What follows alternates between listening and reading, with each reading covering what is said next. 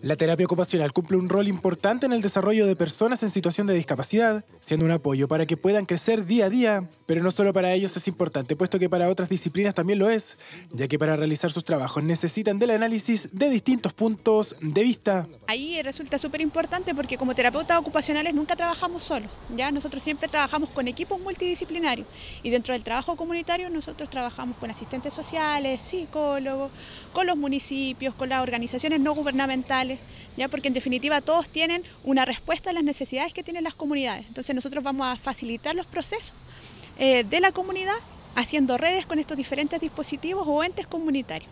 En este contexto, la carrera de terapia ocupacional de la Universidad de la Frontera realizará un seminario en el aula magna de la Casa de Estudios. Este será el próximo lunes 22 de agosto a partir de las 8.30 horas, ocasión en el que se abordarán temáticas relacionadas con todos los ámbitos que envuelven el trabajo comunitario. Este año estamos organizando realizar el primer seminario de, mm, articulación y experiencias de trabajo comunitario.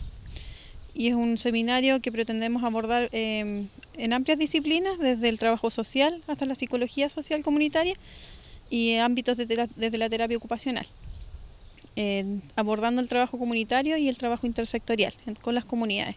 El seminario será abierto para todo público y tendrá un costo que va desde los 5 mil pesos estudiantes hasta los 15 mil pesos para profesionales, entregando una certificación para todos los asistentes a la actividad.